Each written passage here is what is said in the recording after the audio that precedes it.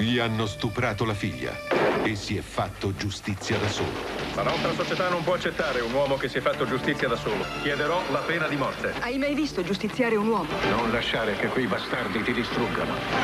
Dal bestseller di John Grisham, un film di Joel Schumacher, Sandra Bullock, Matthew McConaughey, Samuel Jackson, Kevin Spacey. Meritavano di morire e spero che brucino all'inferno! Il momento di uccidere.